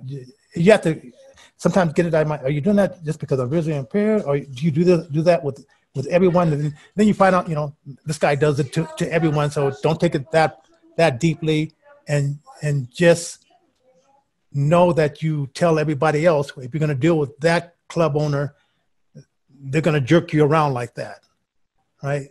And, and get the word out. Um, so working at home because my all my equipment is accessible. I find the clubs. I, I, I, I, was I was doing it at home long before this stuff happened, and, and then getting and then when the internet came in because I, I started before the internet, um, getting things on. It's definitely a lot more easier now that you can put tickets online and and you can you can for clubs that are not owned by Ticketmaster and whatever that that stuff is, the the local local clubs, you can you know monitor your sales and uh, it, it, like I said, just because I, did, I didn't have another blind person, well, except my, my partner, which he just, his family owns houses and stuff like that. So he, he's used to being, his father taught him all that stuff, how to manage. You can manage a house, you can buy a house, you can manage bands and all that, and all that kind of stuff. So I learned from him. Then I just jumped out there and then just got around other, you know, able-bodied sighted people and, and just try to melt in as much as I can and say, hey, forget the fact that I'm a blind person doing this. Let's just make the deal. Okay, you got paperwork, uh, contracts. You, you I, I, I'm very good at reading contracts. I'll get them filled out, sign it, get it to you, and that's what I have to do with dealing with downtown. They, they have a contract. What you will do, uh, what your writer is going to be, and all and, and all that stuff. And and many of my businesses, which I, I often tell them, learn how to read a contract. I know you want to be a musician and that's all you want to do, but it's know what you're getting into. And and and it's, it's great that you trust me, but trust yourself too. So dealing with with that and, and making it accessible to me when there was no other person that uh, that I could come alongside that where was in the business that was just able to say, hey, I was there first. Here, I'll come back and, and show you, Johnnie. Um, it made it uh, interesting but exciting at the same time because I, I realized, you know, you're blazing new trails and it's, it's exciting to blaze something new and sometimes it's frustrating, but it's exciting because you love the music. And, and this is just one part of that music and, and, and teaching the other guys how to do this so they can continue it uh, after you get tired and say, I want to sit back and watch you guys. And so that's been my, my working and, and, and just dealing with being the only blind guy that I know of, but knowing other blind positions, but just doing one in that other position as, as booking agent and, and that part. Hmm. You know, this this is a, a question that I want to pose to everybody, and that is, you know, who was your mentor in this as you were growing in your field, and were they a person of color? Oh, can I go? I totally want to because I, I listening to Johnnie, I just totally thought about this. Um, uh, and I know they, they definitely. I mean, I, obviously, I, I had a, a, choir instructor that was a, a, a person of color, but um, I had this guy his name is Dwayne Wilson, and he lived over on Capitol Hill. And he, um, you know, was a, you know a black guy. Um, he would uh, come see some of these uh, high school bands that, that I was in, and I got connected through him. I think he was maybe like a counselor at a camp or something like that. But um, you know, I met this guy when I was like 15 or 16, playing at the at Euphrates or whatever, and um, you know, he like he taught me all about funk and Parliament funkadelic and like you know, all these things. And he was like my number one, um, encourage, like he encouraged me. He like believed in me, you know, he was like, Oh, Andy, you know, just like do this, you know, you got something special. You can do this, you, you know, and, um, for years, like, you know, uh, he just helped mentor me and, and the guys in my band too. Like, uh, this guy, Chris Harris, who played bass in Bop Skizzum, uh, you know, he's played at Chapultepec. I mean, he's like one of the best bass players around. But man, he taught me everything about funk and groove and how to play, and you know, and taught me how to be a better guitar player, a better funk player, a better singer. You know, um, so I had so many people of color, you know, mentoring me, uh, and from a young age, and you know, maybe getting exposed to racism and a lot of these things early on when a lot of this guys with me, or you know, we're playing a show or whatever it is and they're harassing him, you know, and having to be like, what are you doing? Like, this guy's with me. Like, you know, he's, he's with the band or, or whatever it may be.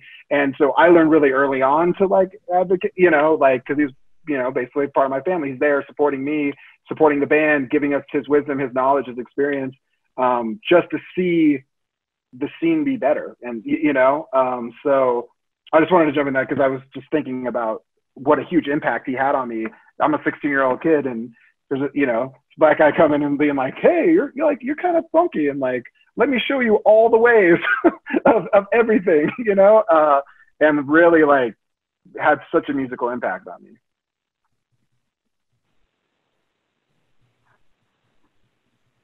Andrea, Kori, you want to you want to go next?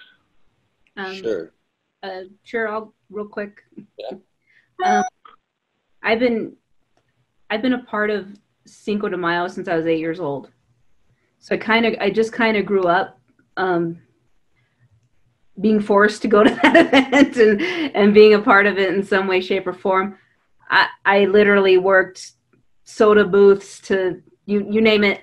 I wasn't you know I had to do anything I was asked to do, and so it's just kind of how I came to love events. You would think I'd hate events, but I actually really, really love events, and I love them so much because it's the it's the one medium that really brings people together in in a happy setting. They just want to have a good time. They just want to be connect. I think I feel people want to be connected with their community and their and and and their and and and come together to celebrate you know a certain thing and, and have fun that's what people want to do i mean that's and then you then you add colorado to it and then you add denver to it and we're such a fantastic city to be in i mean the secret's out right so um i grew up in it but also when i when i got older and really started learning the nuts and bolts of you know how to put contracts together how to talk to people how to work out a deal how to you know um, how to organize. I really learned a lot of that from um, Renee Ortiz. Um, she's somebody we still contract uh, for Cinco, and she um, she she's taught me a lot. Um, it, there there have been methods that I have just picked up by watching her um, that that have been priceless to me, and and when I really am stuck and I'm really uh, I really am having a hard time, let's say, with a sponsor or, you know, um, the, a lowrider car club, you name it. If I'm having a hard time, I'll go to Renee and be like, Renee, pretend you're me. What would you do in this situation? And and we talk it out, and, and you know, we're usually able to figure things out. And then it gives me, she always gives me a perspective that I don't always come with initially. And I think having um, having people on your side on your team that have a perspective that um, you don't always have is very valuable. And so um, I've I've I've learned a lot a great deal from her. And um, um you know I think she's been one of my my my best event mentors. Um for me I I don't think I ever really had much of a mentor it was most a lot of it was just self driven to be the change that I wanted to see in the industry. I yeah, I just never had anyone in my corner to just be like, hey, this is how you do this, this is how I do this. So I would do everything I could. If I didn't know something, I would just like learn it myself. And so like when younger kids and other people do see me at the table, or even just like making sure I, I'm there, that they also can be like, okay, there's a place for me and so, like, if I didn't have a mentor, I hope I can be that to someone else by just existing. And even if like they need to pick my brain of what it's like to be a minority in this industry, like I can be that for them. How about you, Johnnie? Well, okay, I, I would have to say like sometimes you, you watch someone who has a good business sense. And and I'm a, a people person, but I needed to what I needed really help was was that that business part. And and my my partner Wayne, he, he's from a family that they started out buying houses and, and doing all that stuff. And so he was the person that if I couldn't say no, he had the face that said no. So I would bring him along and say, you know, if it was if it was something I, I don't know, tap him, he would take over. So my, my partner Wayne Turner, I mean, he was the one that, that gave me the, the business sense. And even when I messed up, because one time I we bought some radio time and it was over our heads and and I made a mistake. I signed the contract and it was a mistake. He said, okay, you made the mistake. I'll pay it over. And he never brought it back up to me again about that mistake. Right. So I've had mentors uh, along the way that, you know, when I made a mistake, uh, they've been gracious enough to, to, to help me correct that mistake. And then we can take it to the, to the next level. And that, you know, so, so, so that always kept me like humble in what, what I do.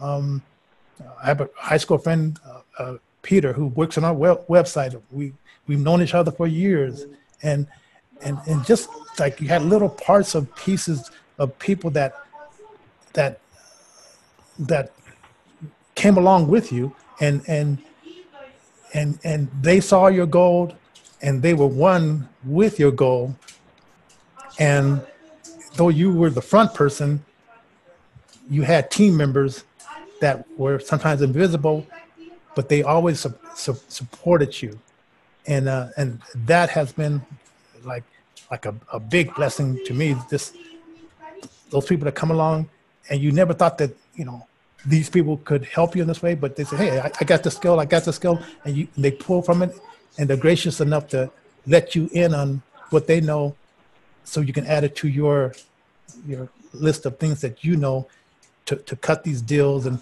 and and to get other people into places. Because it's all about helping the, the, community of musicians the community of, of artists and and not being afraid to go from one level to another level so yeah so I think that's I think that's great. I just want to share my experience really quick with y'all. You know, I kind of got my break in simultaneously in large events with City Park Jazz and also television with Denver 8 at the same time. And um, there's a gentleman, David DeMana, who is, um, he's brown, he's Italian. He grew up in the north side. He understands the culture. He worked in Denver 8 and in politics. And they actually plucked me out from working at city council and were like, you want to be a host on this TV show? Um, they, because they do channel 8 is the government access channel. Um, they also do city council meetings. So they started seeing me at the front row at Red Rocks. And they'd be like, whoa, you seem to know a lot about music. We want to launch this music show. And that was really my first break. And he, he's, um, you know, done there's almost as many shows as Chuck Morris over the years, filming them, talking with them, hanging out backstage, doing the production. He really taught me a lot. Um, one thing he always told me was like not to eat. He doesn't eat on the days of big uh, productions in the morning because he doesn't want to get his stomach upset and ruin his whole day when he's trying to do these big things. And then, you know, over at um, you know, City Park Jazz, that was when Chris Zacher was there.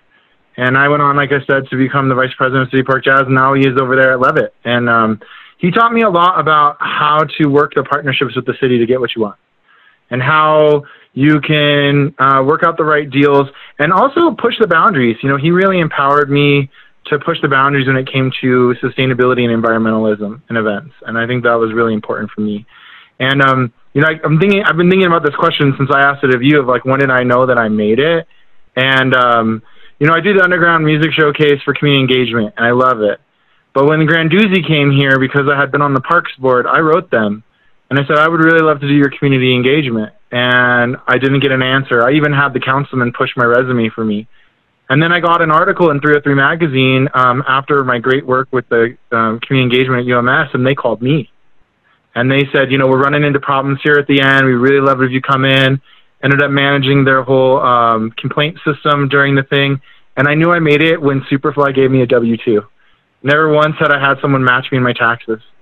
Never once in the events industry. So many times I had people rob me of my wages. underpay me what they said they were going to pay me, sweat me forever. But someone to match my taxes, that's really when I felt like I hadn't finally made it uh, in the industry somewhat. Um, you know, we're coming down to the last 10 minutes here. And there's a question that we really, when we were going over this, that we really wanted to go through, and that is, what is the question you wish you were asked? And who's missing from this table?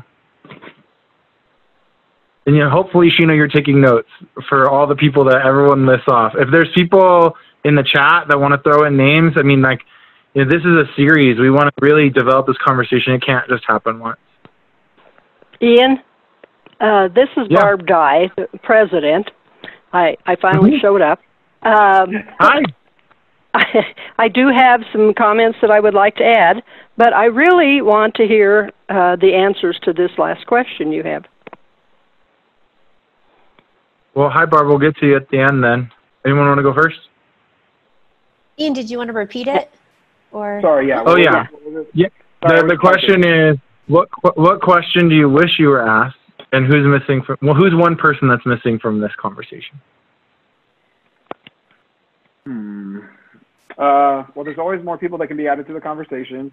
Um, I think this is actually a pretty good job of trying to include some diversity and people from a lot of different backgrounds. You know, you can only have so many people on a panel. Um, so I, I think I, I think that was very well done. Um, uh, you know, I think uh, you know uh, potentially just like another, you know, like uh, a booker or somebody from you know like I mean, Chris Zacher is pretty pro- progressive. I like him a lot. But just like, you know, somebody from Levitt, somebody from Live Nation or AEG or somebody to kind of like, you know, hit back, you know, a little bit and be like, oh, okay, well, here's what it might, you know, and just hear that. I think sometimes you get some of those folks who are there, you know, it opens their eyes a little bit more or whatever. So, you know, I think that's the only thing in my, in my opinion. But, uh, you know, overall, I'm very stoked to meet a lot of you. And I don't think I've really actually gotten to connect with Kori. So I'm, um, uh, please please email me Kori and we'll we'll chat some more whatever but um you know or Andrea you know some of these folks so um uh but yeah that's that's my thought is just having some more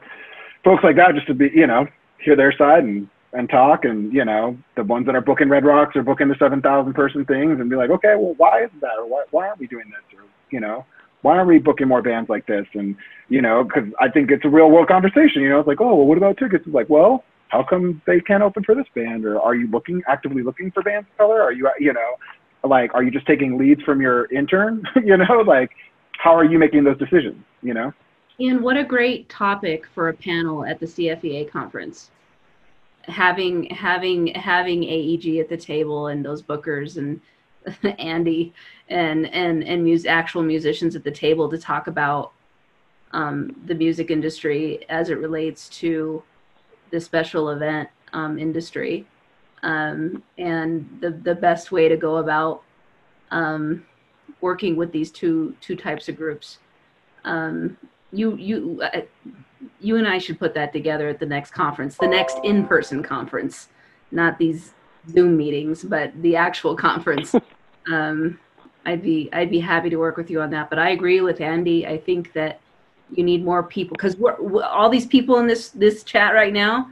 We're all preaching to each other's choir. We're all on the same page with each other. I think, and and and who who we need to influence are the folks that need to hear that they're not being inclusive and we need to figure out who those folks are and um, call them out on it i suppose and um, you know there are other as you know ancillary advocacy organizations out there that would lend their voice as well um, um, so Yeah, and I would like to, I would like to like see like um like bigger big sponsors. Uh, one time I had a chance to talk to the the uh, this guy who's working for Coors, and uh, he's a black gentleman, and it was the Catch Twenty Two. I said, "Well, can you guarantee me you can get 200 or more people to this concert?" And because I was very young in this thing, I couldn't guarantee him because I, I thought about, well, what if I don't get 200 or more people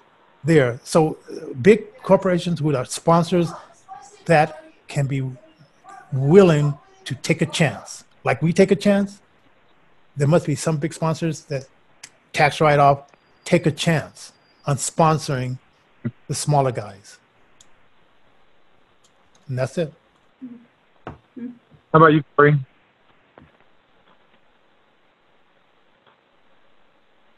I Sorry. feel like I feel like Johnnie needs to teach a master class to the to the to the young people that want to be in in this industry. I, you have a lot to teach, I think, Johnnie. In fact, I, I don't I don't know you, and I, I feel like I would love to just sit with you for take you out for coffee and pick your brain for hours. Yeah, I've, I've heard a lot of crazy stuff in this business, and and I, I I just know what is the bottom line, and the bottom line I want to get everybody paid, and I learned from a long time ago. I had a boss that she paid me less money, and, and she got mad at me because I wanted to make two dollars more, and then when I went and, and made fifteen dollars more, she got mad at me because I left her place. Um, so I I uh, I just understand that you you love doing what you do, but let's try to get you i know it's not the most important thing you love your music let's try to get you paid so you can make a living out of this as well because we want more of your energy. We want more of what you can produce and and freedom to to, to do that without doing the nine to five. And sometimes you may have to do a nine to five but you know let's let's work towards uh, more than one goal of just yeah. Ah, oh anyway that's my frustration Go ahead. Well, how about if I go ahead and do my little Uh, spiel be- here real be- quick? Before you go, B- Barb, before you Okay. go, could we let could we let Kori answer? Oh, sure. I'd love to have Kori answer that. He's he's the whole reason we're all here. Thank you. Can you remind me of the that the, the basis of the question? Um, what question do you wish you were asked, and who, what other person do you think should be at this table? Oh yeah, oh definitely for the people need to be on the table should be these promoters that like do run a lot of this. Like Kelsey mentioned it that like the AEG folks and the Live Nation folks, it'd been really nice to see them in on the conversation. Because I feel like thus far you haven't seen much from them in terms of like addressing it. This thing's been going on and they have hands down the most power in terms of the live music scene. And it would be a great sign that they're willing to change if they were a part of it. And I guess I think. Oh, sorry. Go ahead, Kori. Sorry, I didn't mean to interrupt you.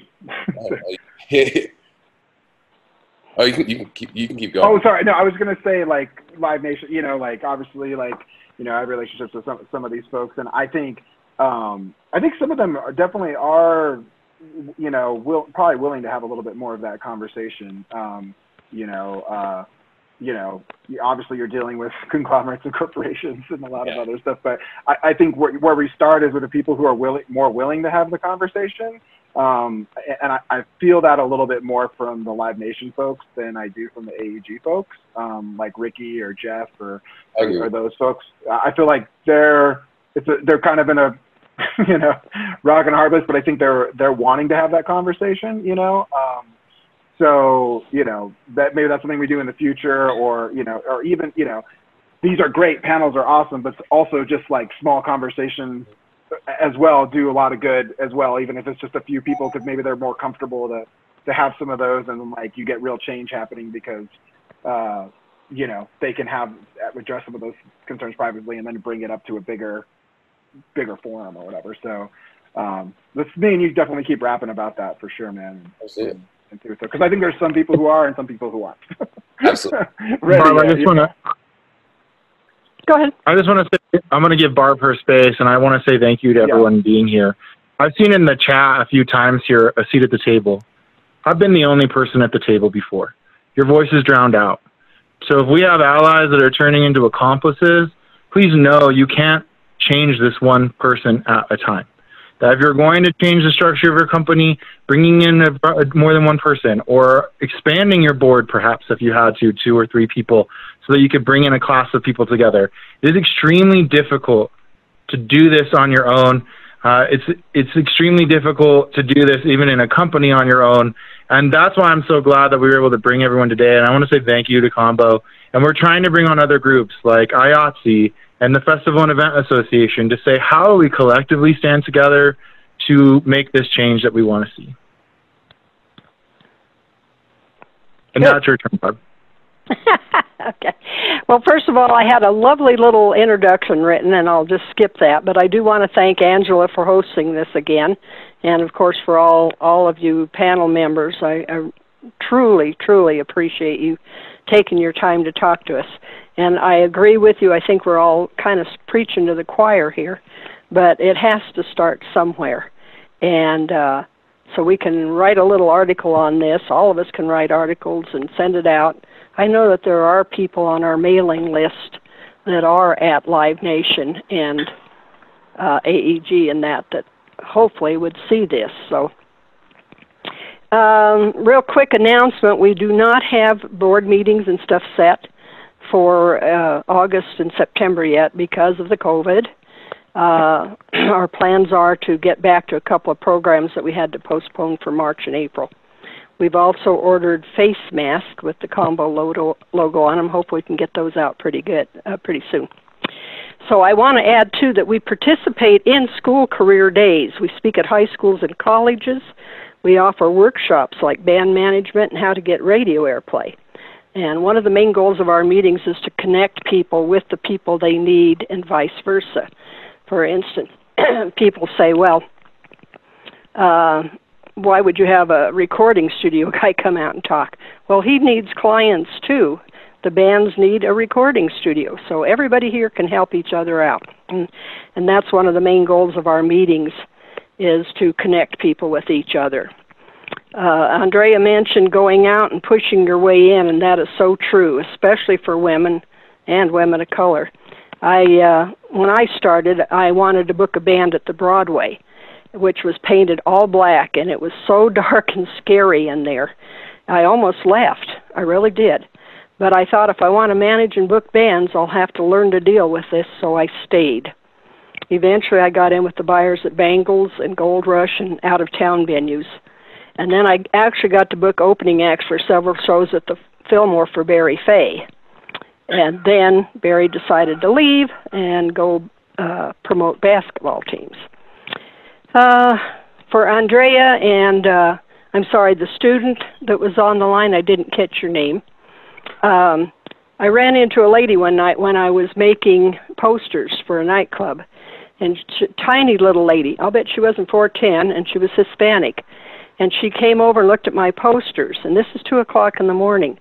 And so we got to talking, and it turned out she was sent here from MCA shortly after the San Francisco earthquake.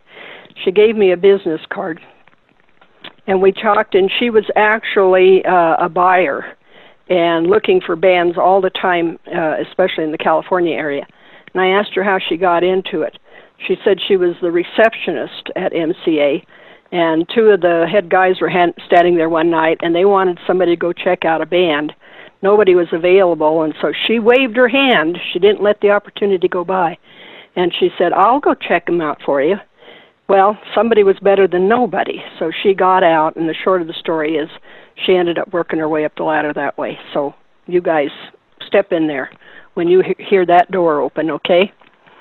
Uh, uh, as far as Hispanic bands, I went and I got a foot in the door with Lewis at the Palladium, and I was going to book Latino bands. Great place for them. Uh, then the no smoking ban went into effect. Lewis lost a lot of money uh, fighting that and ended up tearing the club down and selling the land. It was so sad. Um, and then uh, somebody mentioned, oh, Kori mentioned, you know, trying to get backstage. Uh, same deal. I mean, uh, women, you know, if you're, you have to really totally convince them that you're with the band seriously, you know, and the, they won't let you in.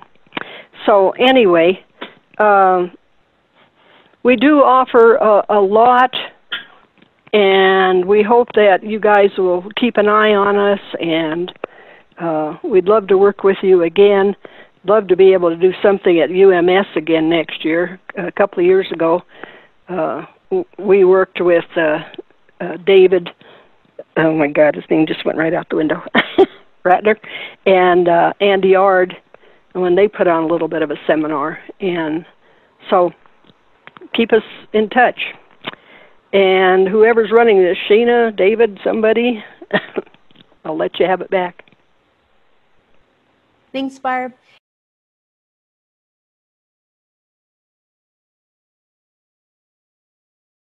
We're at, we're at the top of the hour anyways. Um, just want to give a big shout out and appreciation to all of our guests and everyone for joining tonight. Um, stay tuned. Uh, there's more to this series to come. Um, and everybody have a great night.